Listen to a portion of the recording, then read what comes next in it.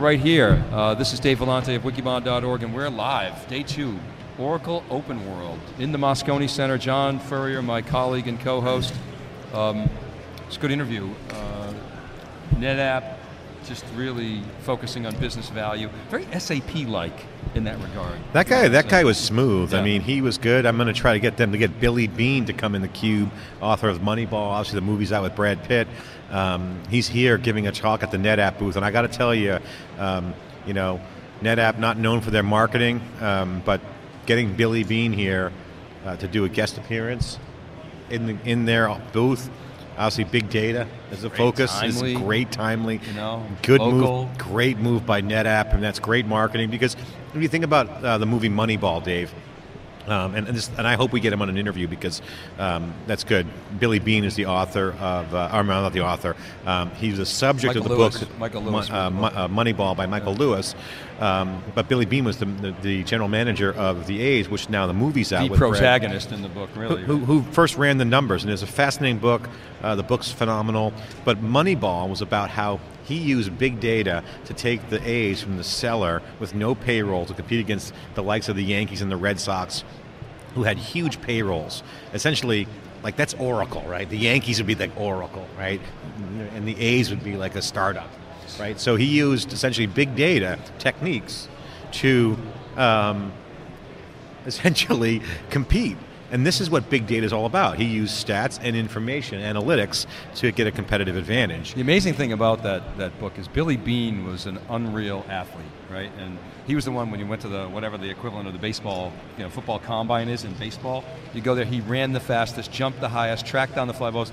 You know, the scouts would see him there, their jaws would drop. I got to have that guy. And he played, I think he played for a number of Mets organizations and others. He was a bust in the major leagues. He had all the skills, all the tools, just was a total bust. And and then through a series of Well, Billy Beane is the legend, obviously the, the book and the, the, now the movie.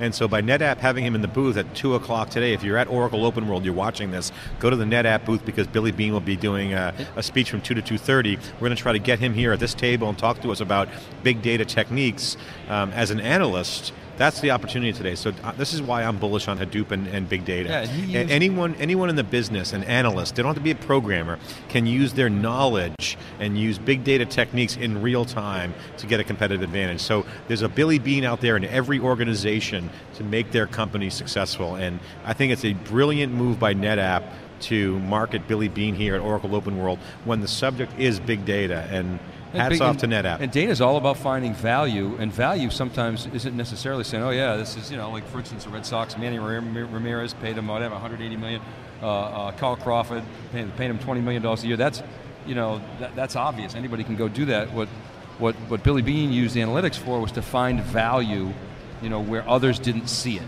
and statistics and data were how that occurred. He was an analyst, and, and that's exactly why big data is relevant. And uh, you know things Of course, like they never won anything with that with that approach. They you know they, they got there. They right? made the never- postseason. never They went all the won way. the division. The- you know the, the premise in the book was when you get to the postseason, uh, anything can happen. Yeah, I don't know. yeah. Maybe that's where the expensive players step up. that's why they're paid so much. I don't know. Well, Um, anyway, good interview by NetApp. yeah, Great job so, there. Uh, that was that was good. Thank you. Um, But we're here at Oracle Open World. This is theCUBE. I'm John Furrier, the founder of SiliconAngle.com, and we're live on the air. We've had over 150,000 people watch today. Thank you very much for watching. Uh, we're covering all the news from Oracle Open World in San Francisco, California, where the, the show is so big that the city of San Francisco has shut down Howard Street and the surrounding areas to accommodate Oracle Open World and Java One. And Java One is at the Hilton, other part of town, but it's one big, huge event. Hard to get a table at a restaurant. Everyone's having a great time. Good business discussions, great networking, a lot of partying, serious amount of, of, high tech uh, and, and energy going on here, Dave. Yeah, a lot of business going on. You know, it was interesting. We got a couple events last night. It's interesting to to note the degree to which Oracle partners in the field with you know the big consultants, the Deloittes, the KPMG's, you know, the Accentures. I mean, those guys are associated with the money, the wallets, right? I mean, a lot of suits, uh, a lot of big deals going on. Um, You know, a lot of high-end consulting activities. That's that's really Oracle's space. That's what they're all about. So we've had a lot of guests on today. We had Juniper Networks. You just talked to NetApp. We had Juniper Networks. We've had um, a lot of good guests come on. We had QLogic earlier. We talked about the iPhone, Apple announcement um, covering in Cupertino, California. So you know, we're in San Francisco, Oracle Open World. Apple has the announcement of the iPhone 4S in Cupertino. We've been covering it live. Tons of stories on siliconangle.com. Alex Williams, Klint Finley, Kristen Nicole are out there covering everything. All of our writers working hard. Art, Kit, uh, we got on the Wikibon side, we got Jeff Kelly, Stu Miniman's at Interop right now covering uh, Interop. So give us the update on what Stu's up to on Wikibon side. So what's going on in Wikibon? Yeah, Dave? Stu covers virtualization and networking for us, and, and Interop, as you know, long time historical networking show. It's all Stu's peeps. He's got to be there. Uh, he'll be covering convergence. Um, you know, I actually didn't ask Vaughn about FlexPod. That's you know their convergence strategy, but v, you know vBlock, HP converged infrastructure, FlexPod. I would even put you know some of Oracle's, I guess Exalogic products in there. Um, all about converging networking and storage and servers. That's that's Stu's area. Jeff Kelly really focused on big data. Of course, David Floyer, Nick Allen focused on virtualization and and cloud. Um, you know, working with SiliconANGLE, cloud mobile, big data, really the three pillars that, that, that we focus on, and um, they're good ones to be in. So, you know, there's, there's a lot of news going on, honestly, not all good news. Um, I just got a tweet from um, my good friend on Twitter right now, Tech Stock Radar, great guy. Um, told me Acme Packet provided third quarter financial update. They're down huge, and according to Tech Radar, Tech Stock Radar, which is a great analyst out there who's got a great subscription newsletter, uh, down 28% after hours, issued negative Q3 pre announcement. So, not all good on the networking front. Uh, Acme Packet, it's a real company. Um, the Roadrunner. So, Acme Packet's down significantly. The uh, ticker symbol is APKT. They're down 25%. So, um, well, that's after hours. You look at the after hours number down uh, 25%, so they're up for the day, but after hours, because they announced after the bell um, the negative earnings. So again, I reported, and the Juniper guy was, you can see the Juniper guy was very, uh, not combative, but he was definitely edgy because I reported on Saturday that Juniper laid off 3% of its staff, which they confirmed they laid, had layoffs, but would not confirm my number of 300, which put it around 3% of their overall company. Um, I was a bit defensive. Three, he got a little bit defensive. Well, he's on the shtick about, you know, he's a Microsoft guy. He knows the deal. He's been beaten around the block. But, you know, he's report for Bob Muglia, a great executive. I like, I like Juniper. But you know what? They definitely would not confirm the 300 number. And 300 is a lot of people um, to lay off. So it's newsworthy enough. No one picked it up. The only one who picked up the story about Juniper laying off 3% of their staff was CRN. Computer Reseller News, and they're the only ones who picked up. Wall Street Journal, nobody picked it up because the Juniper PR machine absolutely denied the layoffs and actually tried to circumvent my report by saying that they're actually adding headcount. So I don't know who to believe.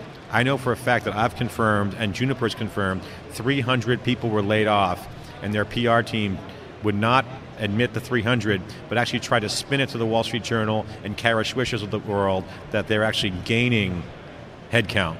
So, so while kind of kind of shaky PR on Juniper's side, but my point is they're retooling. Juniper's retooling. Uh, I uh, love their story.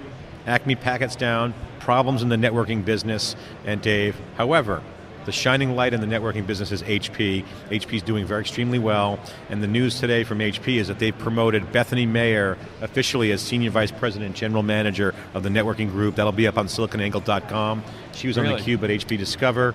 Um, so HP doing really, really well in the networking area. We've had them on the cube. Ganthier, Jim Ganthier, VP of Marketing. Um, well, congratulations Mike to Bethany. Uh, um, I'm actually very impressed with her. She's you and I met her um, over a year ago uh, out at HP very understated, very smart, has a technical background, but also you know very strong marketeer, has been in the networking business, obviously has the confidence of Dave Donatelli, the Senior Vice President and General Manager of the Enterprise Server Storage and Networking Division. Yeah. Uh, so that's a big, big promotion for her. Um, I think she did a great job of marketing converged infrastructure. That was her baby. Really did a fantastic job there crazy day in the market yeah. today, John. The Dow was down, you know, big early. This it, is Bethany right now. You're looking at Bethany Mayer right now. She is uh, was on the Cube. Um, she was a marketing executive now, and she took the interim spot as a general manager for the networking division, Dave, because um, Marius Haas left the company to join KKR. Now, Marius Haas was in corp- ran corporate development for HP, was responsible for the EDS merger, ran that thing end to end, did the whole integration, acquisition integration, and he came from Compaq. So Bethany Mayer, rising star at HP. Let's see what she can. She's a junior executive, growing, and now a senior vice president. Let's see what she can do at HP, and who knows? Maybe she could be one of the ones promoted from within.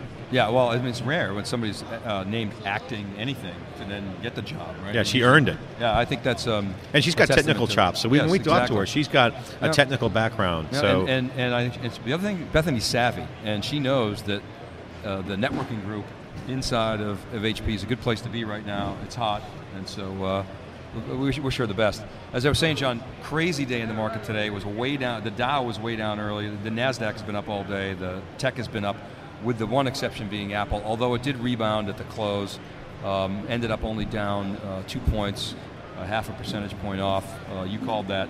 Um, Apple down, of course. There's no iPhone 5. iPhone 4S is a sort of band-aid stopgap product, but still a good product. $600 it damn well better be. and uh, and we're here at Oracle Open World, uh, live, 2011, covering all the angles. Um, we got David Flynn coming up at uh, the the bottom of the hour. Uh, I see David Floyer bopping around, wondering what uh, what he's been kicking around. Been out talking to Oracle practitioners, getting the inside scoop. So we should maybe grab him for a minute and see what's up with him. It's up to you. Unless you want to take a quick break and come back for some Great. news. right, you want to take a let's take a break and come back for some news. So let's just do a reset real quick and come back to um, where we you and I will talk about what's going on with Apple and some of the news. Okay, great.